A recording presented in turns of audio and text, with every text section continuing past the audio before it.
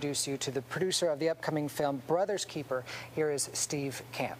Steve, thank you so much for uh, coming over and joining us. Thank you, Rick. I very much appreciate it. Yeah, yeah, absolutely. Uh, first, um, like to always get to know you a little bit. So uh, tell me where you're from. Sure. You, you, know, sure. grew up in New Christ. Tell grew up, grew up in the uh, south, uh, west suburbs of Chicago. Okay. And uh, back in 2008, I uh, had a chance to move out to Los Angeles, where I met my two current partners, Joshua Mills and T.J. Amato. Okay. And uh, we started this firm in uh, 2008 and had no idea at the time what God had planned for us.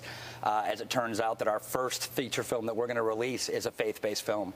Yeah. we are we are absolutely thrilled to uh, be headed in this direction. Yeah, that's awesome. Well, I, I got to ask then on that, you know, how did that come about? Because, you know, being in the business and, and being especially in Los Angeles, I mean, the first thing you have to realistically say is there's not a lot of money in faith-based films. Absolutely. I think I think the guys uh, over in Albany uh, with Fireproof and Courageous have uh-huh. uh, uh, shown that to be not true. But, yeah, uh, yeah. We, and we're very proud of what they've done in the business. But ironically, we were uh, given a short story, -huh. a 23-page short story called The Gift and the Giver. And uh, as soon as uh, my partner Josh and TJ direct the projects and uh, produce the projects, okay. and I handle the financial affairs. And as soon as Josh read this 23-page short story, The Gift and the Giver, we knew it was something that we had to share with the world, and uh, uh, we're very pleased to be doing so November 1st. Wow. Now, um, share with us a little bit about the challenges of, of filmmaking. You know, I, I want to give the viewers a, a real, a realistic picture on you know, what it takes to actually get a film from idea to, and concept sure. to, you know, in theaters. Tell us the challenge. I can tell you this, that we started this process in April of 2009. That was right. when we received the call when Josh first received the uh, the short story, The Gift and the Giver, and here we are four years later, and we're releasing in 30 days. But it's uh, uh, it's quite the process. Obviously, we were very blessed that my two partners, TJ and Josh, have uh, uh, turned this project into a great story. We wanted to tell a good story with Brothers Keeper, and not just release a film that is an over sermonizing or, or an illustrated sermon type film. Yeah. We tell a story with Brothers Keeper that is quite gripping and quite intriguing, and uh, we hope that the story uh, will, will captivate our, our viewers' attentions, but at the same time, our plan was to deliver a message that is undeniable. And in yeah. this case, the message is forgiveness. Yeah, yeah. Now, it's really a gritty piece, I guess. Sure. I mean, it's it's you, mentioned with uh, you know Sherwood Pictures and Fireproof and Courageous. Just like this is a lot darker than that, and I think think of course the the topic kind of sure. Goes it's hand it's hand not necessarily that. darker. It's just uh, it's very true to life. Our yeah. story was a 1950s period piece about two twin brothers uh, that grew up in Southwest Georgia, and a lot of bad things happened to these boys. And our story, uh, TJ and Josh delivered a message that uh, was very true to what the times were like times and, and, one of these boys goes to prison and times in the 1950s in the southwest georgia prison weren't nice yeah and yeah. Uh, we you know there's a little smoking and a little uh, uh, a little violence but we were able to secure a pg-13 rating okay of yeah. course and uh, uh, we we definitely are pleased with the fact that our message is resonating with youth yeah. throughout america we're okay. thrilled with that okay because because yeah the main characters everybody are all what uh, high school, college age kind of? Not all. Uh, we actually, but the, the main story is about our two twin brothers who are graduating high school. Okay. One of yeah. the they're they're identical. Uh, uh, physically, but they're polar opposites spiritually. Okay. One one of the boys wants to uh, Rick wants to uh, uh, become a preacher when he graduates high school, and the other twin brother Andy doesn't have a clue what he wants to do. He's kind of lost, -huh. and a lot of bad things happen, and they get flipped around. And again, uh, the way that they handle these situations in their lives in this film is where we have the message that we believe is again undeniable. So why did you choose 1950s South Georgia? Because I think that you know to be your first film, sure. you know you're already putting a period piece and everything. It's you like, know, God, let's, let's God, make this as challenging as I can. God took this over for us from the second that we read the short story and said we want to turn this into a feature film. Uh, we went down into uh, we engaged a uh, fantastic writer, Brianna Soto, mm -hmm. who delivered a fantastic script. -huh. And in that script, the storyline took place in Bainbridge, Georgia. And we had never heard of Bainbridge, Georgia before. -huh. so my two partners and I, uh, we went to Bainbridge and they went out on scouting locations uh, to look at the different locations throughout Bainbridge that were perfect uh, for our film, Bainbridge is a beautiful little town stuck in time. Per- perfect courthouse, Times Square. I mean, it was ideal Uh-huh. for what we needed. And I met with some pillars in the, of the community there. And uh, we ended up staying on the ground for eight months almost straight. Uh, we raised about $4 million from investors throughout the Atlanta area and throughout, uh, from Atlanta down to Bainbridge. Our wow. investors are kind of in the corridor between Atlanta and Bainbridge. Oh, and uh, without those investors and their support, uh, we wouldn't be here today. Wow. Yeah. Wow. Well, good. Now, so what was? Um, tell me about challenges as you go now. You got you got the script, you got the location. Of course, now you got to work out the Sure, sure. Once, once, we, once we had the financing secured, uh, again, we uh, engaged a fantastic crew. And uh, one of those crews was a casting agent uh, that we brought in. And uh, we were very, very blessed with this cast. You've seen the list itself. We brought in Alex and Graham Miller, played our identical twins. Hmm. And they actually won an award in the uh, Internet uh, First Glance Film Festival in LA. Uh, they jointly won an award as Best Actor. They did a phenomenal job. Really? We also brought in Michael Rooker, who plays the sheriff in our film. Michael's a, a Hollywood Uh-huh. legend. We brought in uh, Ray Wise, uh, Daniel Simonis, Robin Lively, W. Earl Brown, uh, and of course, as you know, we brought in Travis Tritt, Oh. Yeah, the country yeah. western legend, and uh, he, uh, Travis, has a future in film. Let me tell you, he did a fantastic job. Well, what, what was it like to, to approach him? Or, or first off, how did his name get put in the hat? Sure. You know, we originally, as we first uh, developed this project, TJ and Josh said that they envisioned Alan Jackson being perfect for this role. And Alan, unfortunately, had a prior commitment when we engaged with his uh, his team. And uh, Alan, one of Alan's managers, said, "Let's get this over to Travis Tritt." And we got the script over to Travis, and uh, uh, Travis is a very strong Christian, a good spiritual guy. He read the script. Uh, he was able to relate to his character, Eddie Waters, and uh, he did a fantastic job. I think you'd be thrilled when you see the film. Wow. Wow. Yeah. Cool. Now, how long was um, filming? How long did that take? We shot for uh, we shot five hour days. Uh, we averaged 16 and a half hours a day for 27 days, just over five weeks. Wow. We were on location for uh, uh, our, the principals were on location for months, but our whole team and our cast were on locations in the town of Bainbridge uh, for a month and a half, two months. It was, Oh, and it was an amazing experience. That community really rolled out the red carpet for us, literally. And uh, while we were shooting, we had uh, different pastors that led prayer uh, for our crew. Uh, we had people from different churches coming in and delivering us pound cakes and soup, and it was just an awesome, awesome experience. that is really cool. Yes, sir. Uh, now, some people don't uh, realize this, but me, of course, uh, you know, coming from the business and having a heart in it, that you know, you get the money, you get the script, you you film it, you shoot it, and you probably even edit it. But some people don't realize, 40 to 60 percent of movies that get done and finished die right there. That they get put in the shelf. They Unfortunately, we can actually relate to that. Uh, we finished the film in, in about a year after we uh, wrapped principal photography. We did some reshoots and uh, added some really key elements to our message of forgiveness in our film. And in September of 2011, almost a year to the day that we rolled cameras originally, we finished our film.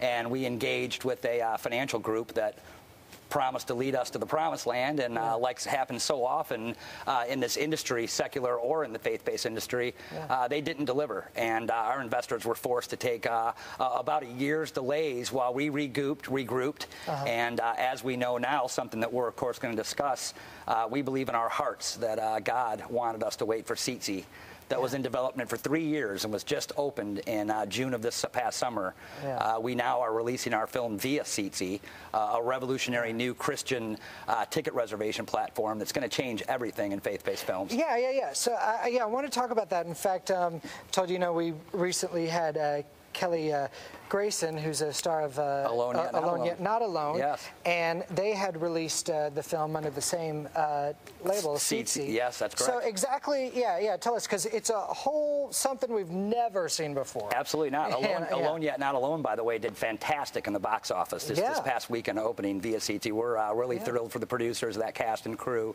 and we're very thrilled for uh, Seatzy as well for the job they've done.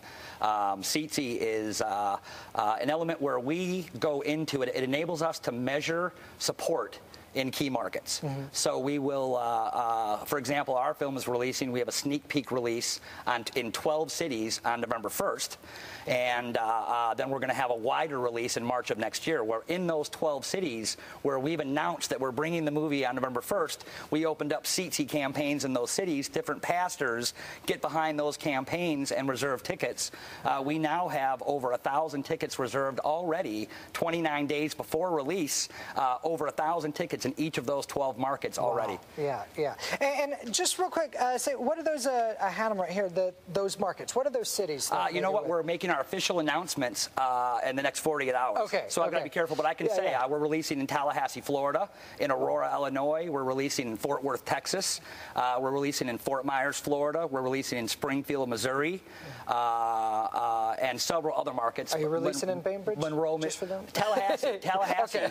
uh, is just uh, Yeah. a few miles south of Okay. Bainbridge. And- So all of our sport in Bainbridge is coming down to the Tallahassee market. And you know, it's not, that's not too uh, odd from what uh, the film business has always done because, uh, you know, when you hear uh, at home, when you hear on the movies, you know, limited release and it will be nationally released later, um, very commonly when film studios don't know exactly how well a film's going to do, um, they will do that. They'll put in limited release, put it in LA and in New York, see how it does. Sure. And, and maybe do it, you know, in some, home, you know, somewhere, you know, Midwest or something, and, and then that's usually then it's released from that, depending on the result of it.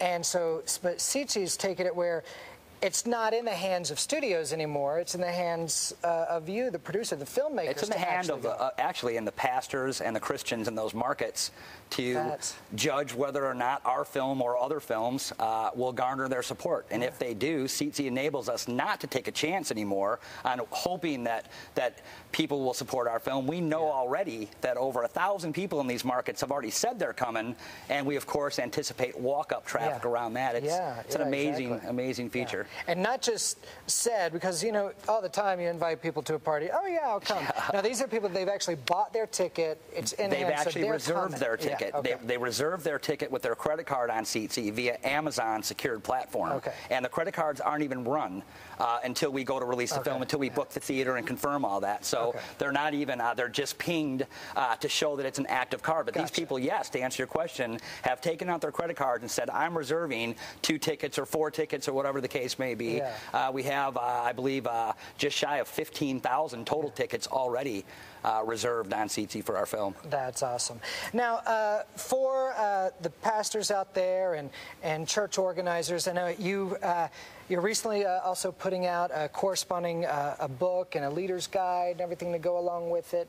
Um, talk about that. Like, what what's the central you know um, Sure. lesson of this? You know what? We, when we finished our, uh, uh, our our movie, we engaged a company called Propeller in Nashville that's run by a gentleman named Dan Merrill, who's also the founder of Seatzy. Yeah. And uh, uh, Dan said, "You guys did a fantastic job on this. We, I'd love to see a couple. I'd like to see a scene with this and a scene with this." And we had an, added in those scenes and the reshoots to really hammer home uh, uh, the message of forgiveness. But we, at the same time, Dan asked us if we would consider spending close to $100,000 researching forgiveness with Barna. And we immediately agreed to. And Barna uh, uh, handed us a fantastic, a couple months later, a fantastic state of forgiveness research report that the data within this report was stunning. Uh, uh, Rick, two out of three people surveyed believe that they've harmed somebody in a manner that they'll never be forgiven for. Four out of five people surveyed believe that they uh, uh, have had someone harm them in a manner that they'll never forgive that person for. Yeah. One out of every three person, uh, every three people that we know sitting next to us in church on Sundays is suffering either mentally or physically from unforgiveness in some capacity. We plan to take that research along with our film to the pastors and say, pastors, here's a good movie to hopefully incite conversation regarding forgiveness. Uh, but there's a lot more to it than just the film itself. Let's use the film as a tool to use this research report. And now, as you just mentioned, uh, we have a youth ministry partner, Interlinc uh, that we just on Monday released a youth guide uh, for youth pastors any youth pastor that would like to receive this guide, it's free. Wow. And uh, anywhere in the country, anywhere on the planet for that matter. And it will be a guide on how to use our film and different scenes in our film uh, to, in, in, to discuss forgiveness and love and uh, uh, other key factors. Wow, that's awesome. That's great. Now, now where can people go to, to find out more about the film and, of course, get information about Seatzy and everything? Sure. Uh, right now, you can go to uh, www.brotherskeeperfilm.com. And uh, if you go to brotherskeeperfilm.com, mm-hmm. there's a Seatzy icon right on our film. You can click on, on on our page. You can see our synopsis. You can see the movie trailer, a couple sneak peek scenes, uh, a full breakdown of our cast. But if you click on Seatzy on our brotherskeeperfilm.com page, it'll take you right into our Seatzy page, and uh, you can see all the different towns uh, where we have started Seatzy campaigns. You can see where the tickets have been reserved, awesome. and that's very very exciting. That's that's great. Well, well Steve, thank you so much God bless, Rick. stopping by and Thank you so much for having putting us. your heart into it. Absolutely. And of course, uh, we can't just sit here and talk about the film without teasing you a little bit. Uh, so to leave you right now, here is, of course, the uh, trailer to Brother's Keeper.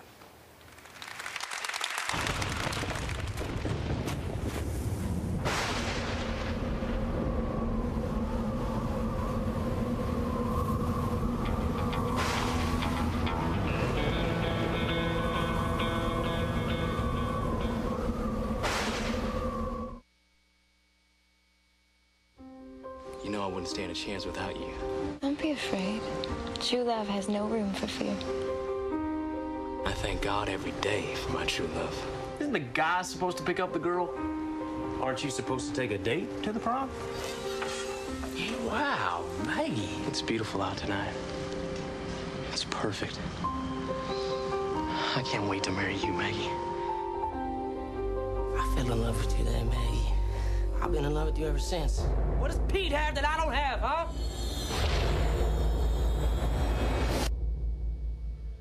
What's going on? Maggie Malloy. She's dead. The unsolved murders aren't the type of thing that draws people into a town.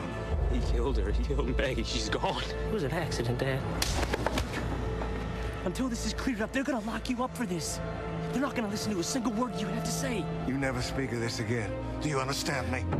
Police have arrested Andy Goodwin after he surrendered himself early this morning and charged him in the beating of Gordon Lee Master. Circumstances surrounding the death of Maggie Malloy remain unclear. Let's make this fast and easy. Write down everything you remember from last night. How you killed the girl. Anything else you remember, just jot it down.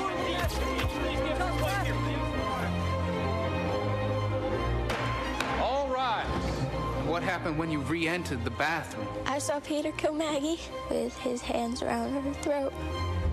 The people have proven beyond a shadow of a doubt, including an eyewitness, Mr. Peter Goodwin killed young Maggie Malloy. I'm sitting in the cage, waiting to die. And I'm gonna be there to watch him suffer.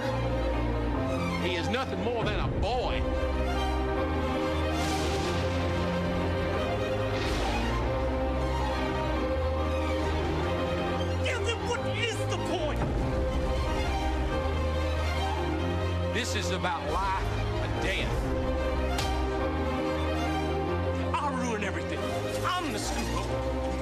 Perfect one.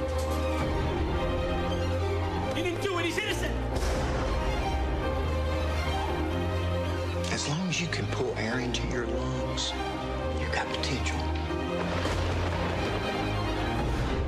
Potential to help somebody right up to the very end.